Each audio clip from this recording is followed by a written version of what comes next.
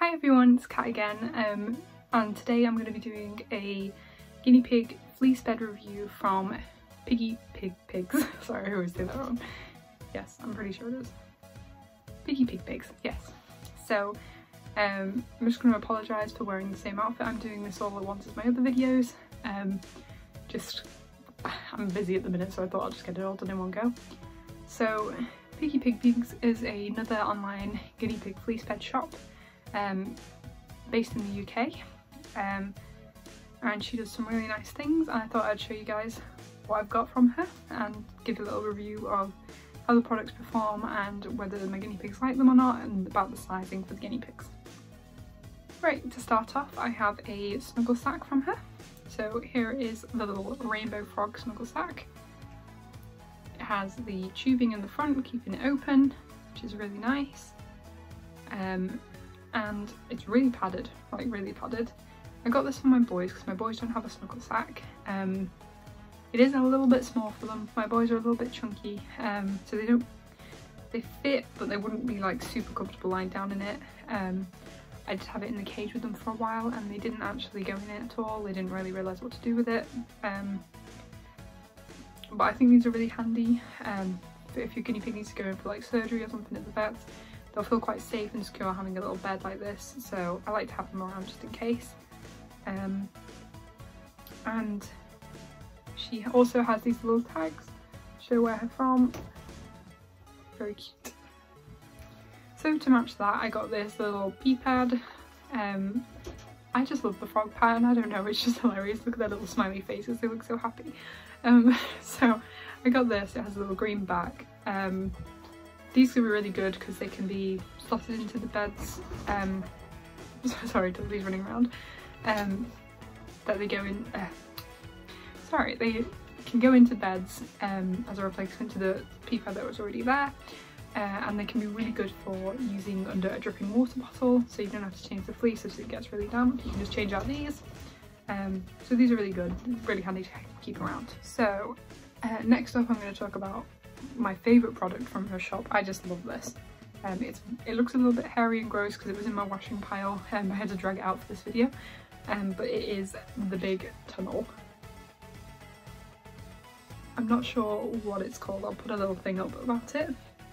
But this is a really big tunnel. It's super wide, you can fit two guinea pigs could run past each other in this. There's another entrance here and it's got a nice flat bottom. Um, and I mean I, I love the print as well, it was really cute little purple and blue print. Um, this is my favourite product from her. I absolutely love the tunnels for the guinea pigs. Guinea pigs love little dark tunnels they can run through and having the extra house, um, the extra cutout on the side is really handy if like you got two pigs that are a little bit argumentative. Um, you don't, you're not going to end up with any fights in it because they can just run past each other really easily. Um, it's a great size guinea my boys love sleeping in it. My boys perfectly fit in it. Like there's plenty of room for boys if you've got big pigs. Um so yeah the, the only thing to remember is that if you have a small cage which you shouldn't have a small cage well guinea pigs deserve a nice place to run. But if you have a smaller cage this will take up quite a lot of space in your cage because it is big. Like it is a big it's a big tunnel but it's worth it. It's a good tunnel. Next up I have two things from her Halloween collection I honestly wanted to get all four of them. They were so cute. Um, I have such a thing for like the little creepy Halloween stuff. Um, but I had to resist because again, I didn't know if my guinea pigs were going to fit in it. Because um, it's really hard to decide on sizing and stuff and who's going to actually enjoy the beds. So first up we have the ghost. I think he's absolutely hilarious. He's got little arms. He's a little bit wonky because I've had him like shoved in my little cupboard of fleece beds at the minute behind me. Um, so he's a bit out of shape, but these I believe are the teepees. Um, she has these in her shop normally, the design, these are just Halloween themed ones. Um, so she's actually gone for the extra effort of sewing on these extra details and extra stuff, so it's really nice. Um, these are a decent size actually. Um, I was quite worried that my boys wouldn't fit in them because I wanted them for my boys. Um, my boys do fit in them. One of them likes them, one of them doesn't like them. he sleeps in it a lot and he curls up in it. I'd say the base is a little bit bigger than a Cuddle Cup base. so it is very round and they can sleep in it. Um, the other one I have is pretty hairy, but uh, this is a witch's hat one. Um, again, it's pretty wonky because I've been shoved in the cupboard, but the witch's hat, let's puff it out a bit, but yeah, this again is super cute, it's got this nice detailing and it's got quite a wide circumference with this, the hat bit. I will say my one issue with the normal ones is that they have a habit of falling over a little bit. They've got a good solid base, but if you've got an naughty guinea pig that likes to push things over in their cage, this will flop over and you'll have to pick it up. Um, but that won't be too much of an issue if, you know, just pick it up again. It's not it's not a problem. But the witch's hat, because it has that like nice base, it keeps it up, right? And um, stop it from falling. So yes, I think these are great. Um, female guinea pigs again would love it. Um, male guinea pigs can fit in it pretty well. Um, so yeah, if you like them, give them a go. They're quite tall, um, so they stand up really nicely. Right, now the last product I have from Piggiepigpigs is the pig tops. I have two pig tops um, and I decided to get these for the girls just because the pattern was really cute um, and they're actually a lot bigger than I thought they were going to be. So this is the first one. It's a pastel pink one with these cute little woodland animals on the side in this nice grey colour.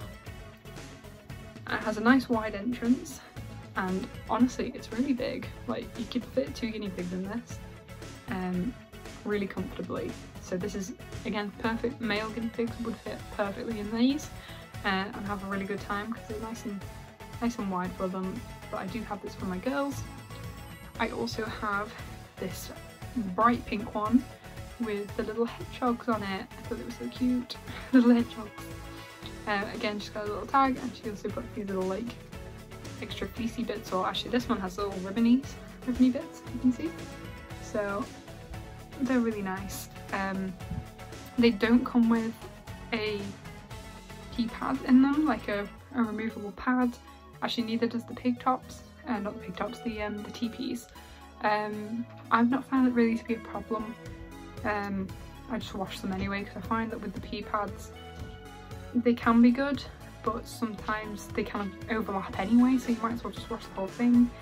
Um, my girls both really like them. One of them sleeps in them.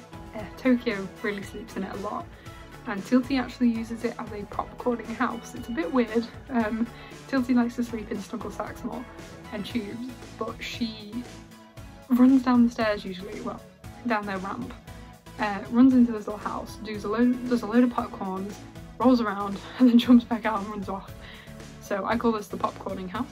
Um, but yeah, the perfect for guinea pig boys as well. I'm sure if my boys did have them, they would enjoy them a lot. Um, but they do not. So yeah, these are all the products I have from uh, Piggiepigpigs. I think they're all really good. They've got really great fleece patterns as well. Um, if you saw in my other video, I was talking about how uh, they are kind of like the pre-made fleeces as opposed to Guinea Pig Weekly who designs their own fleeces. Um, so you might be able to get the same patterns as Pampered Piggy's boutique. They have the same sort of um, supplies a lot of the time, but they have different styles of products like these are kind of the more specialised products, especially this big tube um, I've only seen in her shop, so they are really good. Um, I highly recommend them. They've all washed really, really well. Again, some of these have lasted me over half a year or so. Um, and there's not really any wear and tear on them at all. Um, the only problem I've had is he's dried a bit wonky, but that was my own fault for drying it at a weird angle. Um, but if you dry it again and just push it one way, it'll be alright. Um, yeah, again, follow all the washing instructions. You don't want to damage them. They're all handmade, um, so be careful with them, but they will last you well. And I will be including some clips of the pigs in them for their sizing. So I hope you guys found this video helpful in any way. I don't know if you would, but if you're looking to buy from her, I do recommend the, their products. Um, you've just got to find what your guinea pig likes. Um, you know, guinea pigs like all different types of things. Some might love something, some might not like it. It's just them. some of them can be really fussy, but their products are really good. So it's a thumbs up from the guinea pig team over here. So yeah, that's it for this video. Thank you for watching. Bye.